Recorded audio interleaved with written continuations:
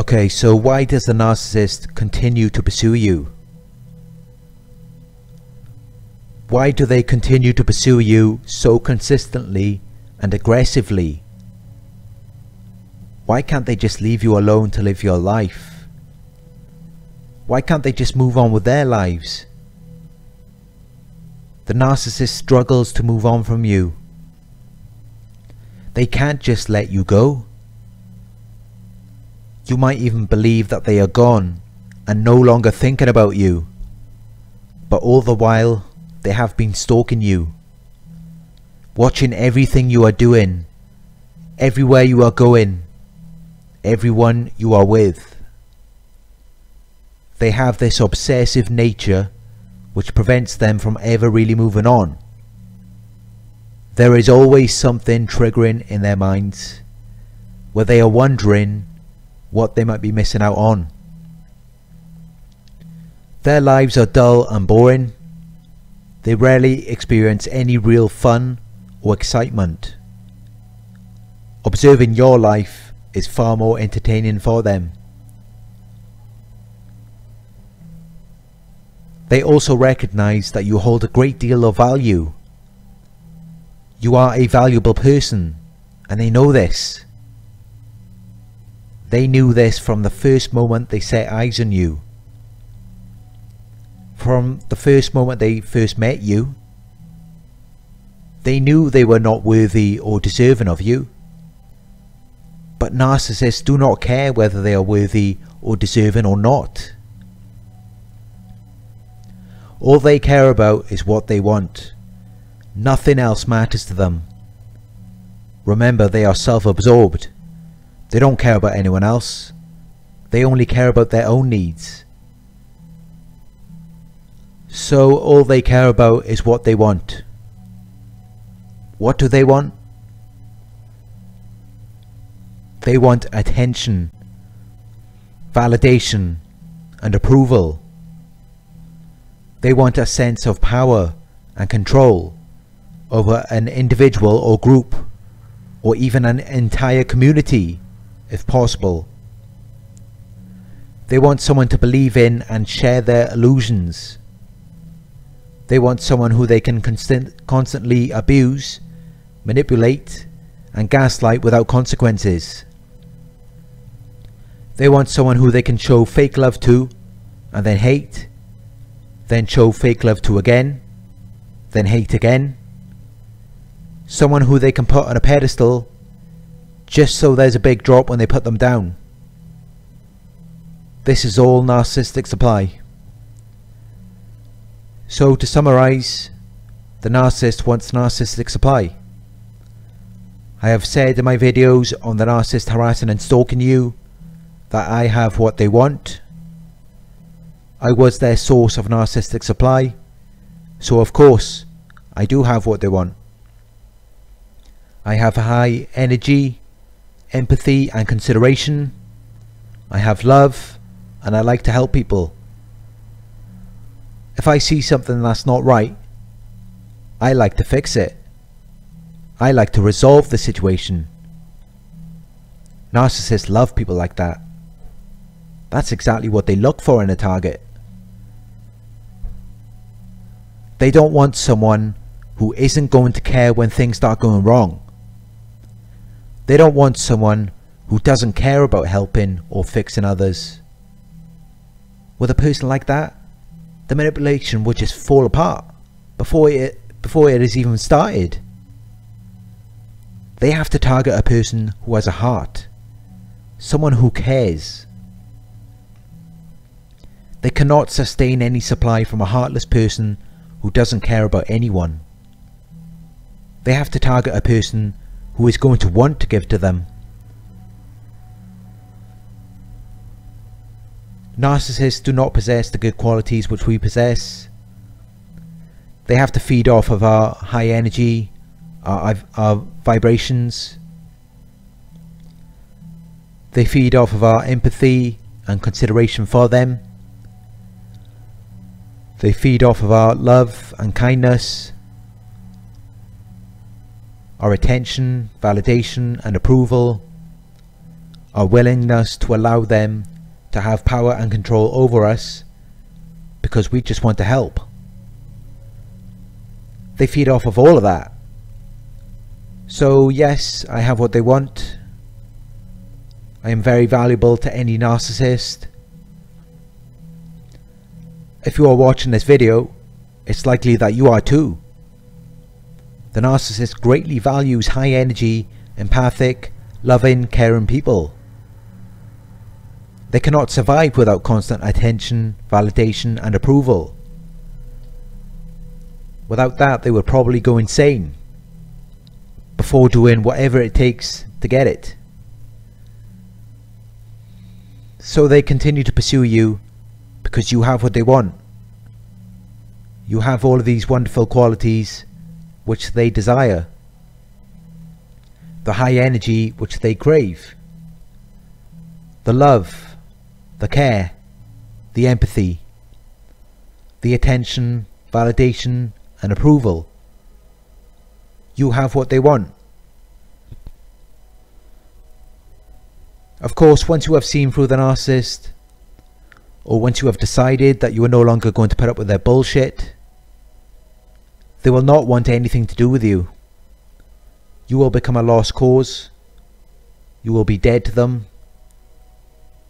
They need someone that's going to give them everything they need, without question. Without disrupting, without disputing their abusive and manipulative ways. So at that point the relationship has to end. But that doesn't mean that they will simply move on and forget about you. They want you to think that you ain't shit. And they could just move on without a care. Without a second thought about you. That's exactly what they want you to think. They don't want to give you the satisfaction of knowing how much they really need you. They want you to believe that you are completely worthless and insignificant. And from the devaluation phase onwards, they will do and say whatever it takes to really make you believe that. But really, the opposite is true. They can't just forget about you. They can't just move on. Even when they do try to move on, they only end up looking for you in someone else and never finding you. When they realize that the, that the new source is not you, they will begin adjusting them so that they are more like you. They might introduce them to the things that you liked, the same music, clothing, hobbies and interests, whatever it takes to have that feeling again. Because the, the truth is, they never really got over you. How could they? They never acknowledged their emotions. They didn't self-reflect or look within themselves. They didn't accept responsibility or accountability for anything that they did. Everything was a lie. They never accepted the truth of the situation. Well, without truth, there's no resolution. Which means that they can never move on. They are stuck in this endless cycle. Constantly trying to replace you with someone else. They are not thinking about you. They never loved or cared about you. But what is on their mind is everything you gave to them. Everything they wanted from you. You were once a great source of narcissistic supply. Perfect in their eyes. And although the relationship may have ended badly, they are not thinking about that. The narcissist never acknowledges any of their faults or mistakes. They do not accept responsibility or accountability for anything that they do. So they have nothing to think about regarding what they have done wrong. They are self-absorbed. They only care about themselves and their own needs. So as long as you have what they want, they are going to keep coming back. They are going to keep feeding off you. The narcissist feels entitled to your energy and time. Although they know that they are not worthy or deserving of you. It's that arrogance and entitlement which keeps them coming back. They see you as an object or as an extension of them. They don't see you as a separate person with your own desires, wants, needs and feelings. They don't take any of that into consideration. Unless there is a way to use that to manipulate you or get what they want from you. They are not capable of following up with a correct and proper action. They are not capable of giving you the proper care or support which you may desire from them. They are greatly lacking in care and support for themselves. Even if you are showering them with endless praise, endless attention, validation and approval, it doesn't matter. Remember, narcissists are like bottomless buckets. No amount of anything could ever sustain them. No amount of anything could give them satisfaction or fulfillment. So with all of the attention, validation and approval you were given them, all of the love and care, you may have thought that they were satisfied and fulfilled in that moment. But they were not. They still felt just as empty and lifeless as they have always felt. And when someone does not feel loved or cared for, how are they supposed to reciprocate? They cannot love or care for themselves. Remember, they cannot self-reflect or look within. That's why they need a source of supply at all times. They cannot survive for long without that. So they have no love or care for us in their hearts. They have no empathy or consideration. All they can do is take from us. Steal our life, energy and qualities. Leaving us feeling drained and lifeless. They are not complete themselves. So they could never complement us in a relationship, friendship or anything else. They might be able to create an illusion in the beginning they have watched how other people interact. They know how to simulate the feeling of loving and caring for someone. They know how to imitate that and make you believe that you are with someone who cares about you and wants to give to you. But they cannot sustain this illusion for very long. And then the, the devaluation phase comes in if they cannot fool you into believing that they do love and care for you, if they cannot get you to buy into their illusion, then negative supply will have to do. And in most cases, they actually prefer to have a negative source of supply. They love drama. That's the kind of environment they were raised in. It excites them. It makes them feel alive. They are addicted to drama. The only reason they didn't display this to you in the beginning is because they knew you would be running as fast as you can. They knew that you wouldn't want anything to do with them after that. That's why they create this false character. This false personality. It's designed to lure you in and make you believe that you are in a loving and caring relationship. Once they have made you believe that you are emotionally connected to them or in love with them, now it's time to turn up the heat. Now it's time to make you suffer. So from the devaluation phase onwards, that's when you see who they really are. That's when all of the abuse, manipulation, and reality distortion begins. Once the relationship is over, they know the effects that all of this is having on your mind. They know that you are going to be in pain. They know that you are going to be suffering.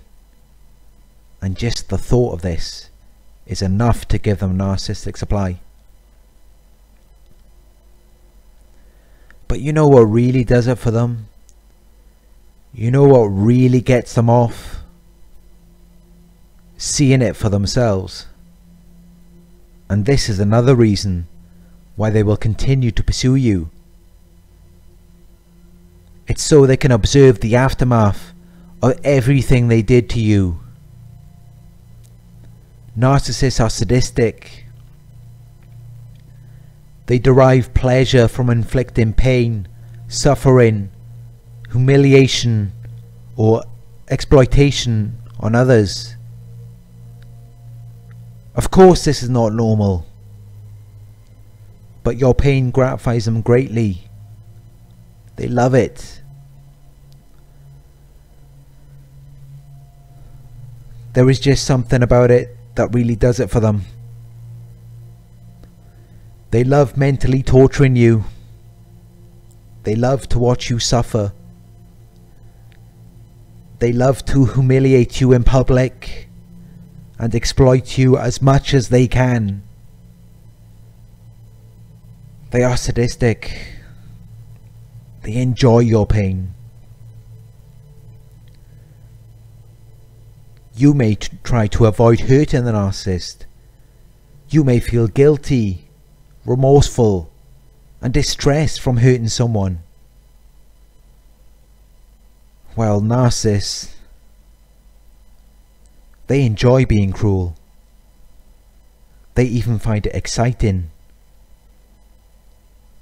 They gain some form of emotional benefit from observing your suffering it makes them feel alive. So they will continue to pursue you and observe your pain and suffering for this reason and also to compensate for their deep-rooted insecurities, low self-worth and low self-esteem. It helps to regulate their intense negative emotions the pain and misery that they feel every day.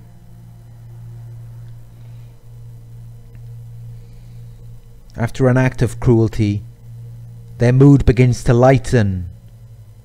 It appears that the narcissist's appetite for sadism and cruelty derives from some diabolical need. Narcissists have an underlying deficit that is sated through the rewards of committing an act of cruelty.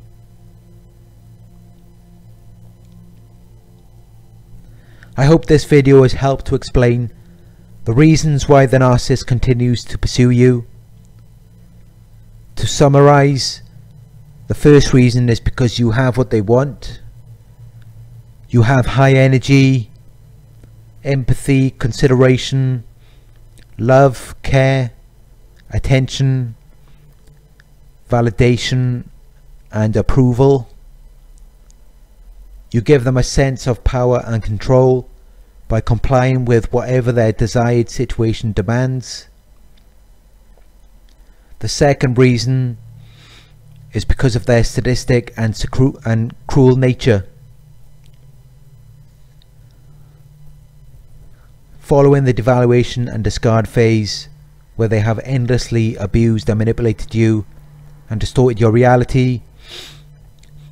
They want to observe the aftermath of their work. They want to see the effects it is having on you.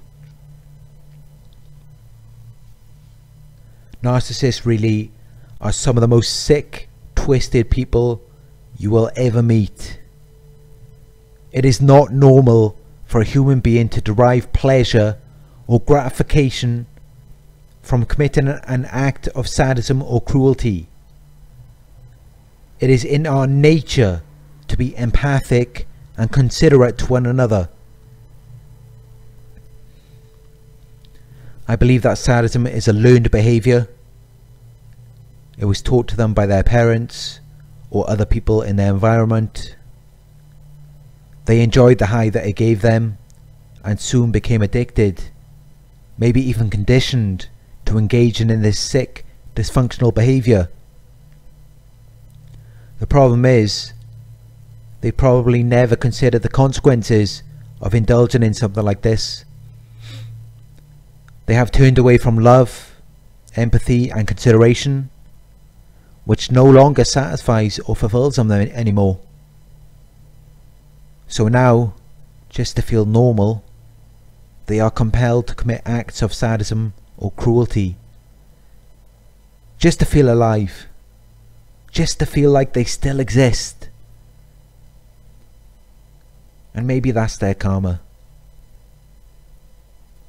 to be locked into this kind of behaviour, to never know real truth or love, to never understand or experience the real satisfaction and fulfillment from loving, from caring, from empathizing and being considerate to another human being. To know that you are making a positive difference in another person's life. From my personal experience, there is nothing more satisfying or fulfilling than that. The narcissist has moved so far away from love that they will never get to experience this. They find it gratifying to hurt you, committing acts of sadism or cruelty. Really, they do not know the meaning of satisfaction, as there is nothing more satisfying than being there for another person, loving them, caring for them, making them feel understood. I love what I do in this channel. I love that I am providing you with my knowledge and experiences. I love that it is helping you and providing you with a further understanding of your situation. I love that you are healing and recovering from narcissistic abuse. Thank you for watching this video. Please like, comment and share this video with any, anyone who you believe may help. Subscribe if you haven't subscribed yet. I will talk to you soon.